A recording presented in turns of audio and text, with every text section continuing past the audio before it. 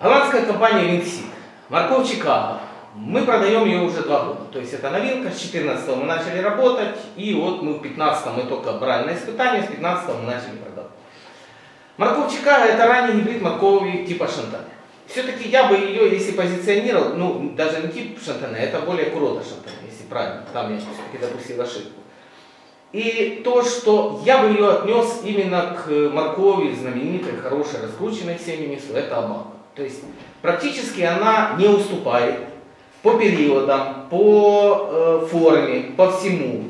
Э, единственное, что я скажу, все равно есть, возможно, какие-то одни линии, отцовские или материнские, есть морковки абака. Но есть и свои. Потому что она все-таки чуть-чуть отличается. Она чуть-чуть длиннее, и цвет, пусть как бы не рассказывали, вот в Херсоне у нас недавно шла уборка, еще заезжал сегодня, люди гектар не убрали, и сосед Абака, а в этого Чикаго. То есть ездили специально, ну как бы, вот всем интересно, новинка, ездят, смотрят по росту, по всему идентично, росли по устойчивости заболеваниям, а именно у Чикаго и у Абака есть одна особенность, то, что у них генетически заложено, это устойчивость э, к мучнистой росе ну, скажем так, относительная, но если другие морковки, я не буду говорить каких компаний, будут уже больны, то это будет хорошая зеленая морковка с мощным таким листовым аппаратом. Так вот, сравнивали все, да, может поливы были, может тот, но Чикаго было чуть-чуть немножко длиннее, ну и по цвету вроде бы насыщеннее. Возможно, тот, кто выращивал Чикаго, я им рекомендовал носить магний, то есть мы работали как по листу мы делали, так мы и работали в э, в капельное в процессе фертигации носили магний, цвет оказался, да, действительно ярче, именно у Чикаго. Э, что же, первый, да, она идеально подходит как для первого оборота, так и для второго. В первом обороте она показывает себя как супер ранний гибрид. Э, в первом обороте не стоит, это специально вот я фотографию показал, не стоит то ждать от нее именно закругления, чтобы она стала красивая, закругленная морковь. Это морковь второго оборота, закругленная. Вот она. Почему? Потому что в первом обороте э, в процессе формирования корнеплода наблюдается повышение температур. То есть температуры растут, морковка сама по себе чувствует хорошо, а не забываем, это двулетняя культура. Ей не нужно еще набирать сахара, температура есть, день отличный, она просто себе растет. Поэтому в первом обороте, аналогичный для бака, пусть там, да, пройдет время, она может на 120 день она закруглится, но здесь на 85 день. Вы получите отличную морковь длиной где-то порядка 17-15 сантиметров, с толщиной, что немаловажно, минимум 5 сантиметров, э, именно толщина. А почему немаловажно? Потому что в мешке она укладывается именно вот этими срезами, и там, поверьте, мешку не видно, насколько она закруглена, насколько нет. А во втором обороте, когда происходит формирование корнеплода, когда температуры уже идут на спад, у нее просто она готовится к зиме, она накопляет сахаров. Все-таки второй оборот намного слаже, намного сочнее морковь, чем в первом обороте. Это любая морковка, это всегда однозначно. То есть здесь она уже красиво, она закругленная, она сочная, она более яркая, она, ну, идеальная морковка именно для рынка, как мы все представляем собой морковку. Относительно устойчивости к стрессам. Вот поле, вот где вы видите меньше цветков, это Чикаго, там это другая морковь. Я не буду говорить какая, но она не сильно, чтобы такая известная, то есть это, поверьте, не таких там конкурентов особых, ну просто вот для сравнения. То есть Чикаго это именно когда она попадала под летний посев и было очень высокие температуры летние, то есть получается тогда стресс и она может, ну как бы морковка может дать э, зонтик, то есть цветок. Соответственно, Чикаго хорошая устойчивость к стрессу. Вот морковки для сравнения.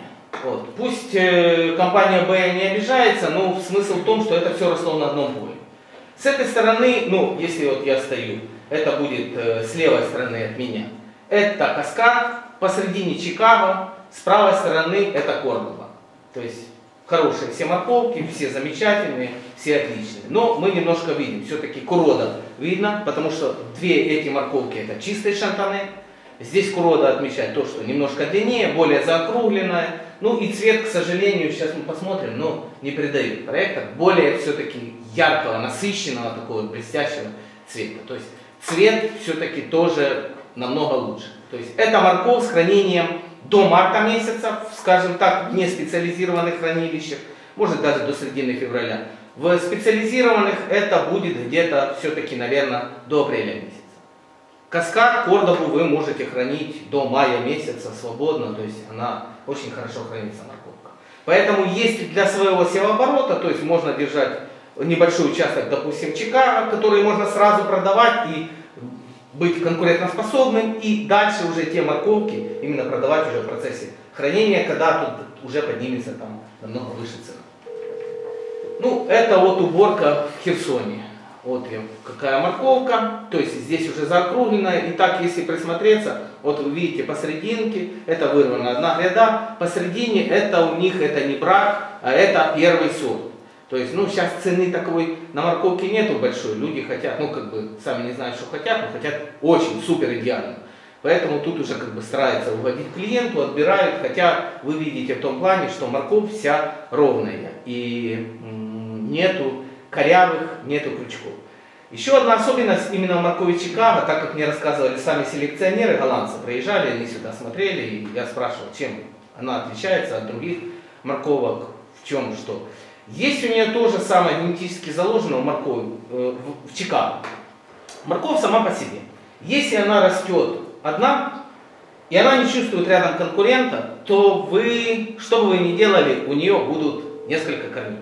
Это, это, это природа, это генетика. То есть у нее нет конкуренции, она спокойно себе растет, она раз, раздваивается. То есть на этом много, скажем как, попадается, не попадается на то, что совершают фермеры ошибки, или, возможно, они получают э, всходы дружные, оптимальные, скажем, такие, и потом получается у них много отходов.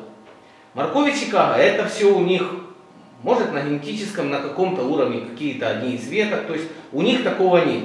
Даже если она растет одна морковка, она будет э, ровная. Это немаловажно в том плане, что в прошлом году в Каховке посеяли и был очень и очень большой дождь, ливень, это в июне месяце. И э, смыло всю морковку, ну практически, всходов получили они там 300, где-то 350 тысяч на гектар растений.